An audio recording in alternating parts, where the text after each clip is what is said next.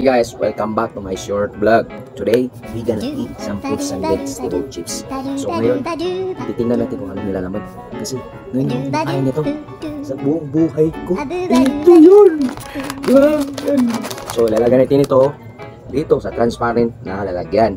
So ano ba talaga? Curious ako dito eh. Kasi ngayon ako kumakain. Natin natin. Try natin. Yan Hmm, di ba? Ayan. Eto, ano ba naman ito? Ano ba to? Ano ba to?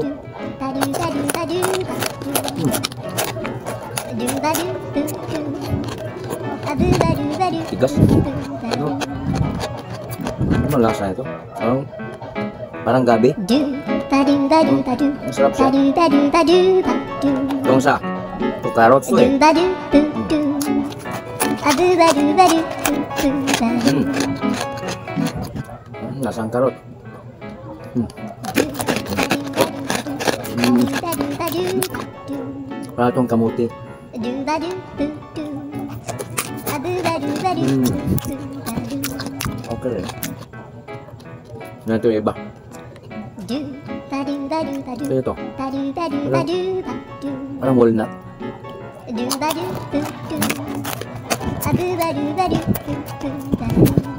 Ito yung lasa.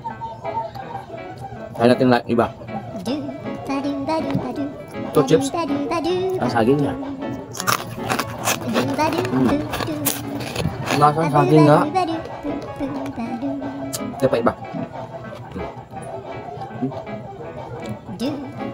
Ito, kalabasa.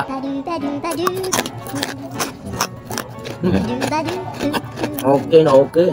Try nyo na rin ito guys kasi masarap siya.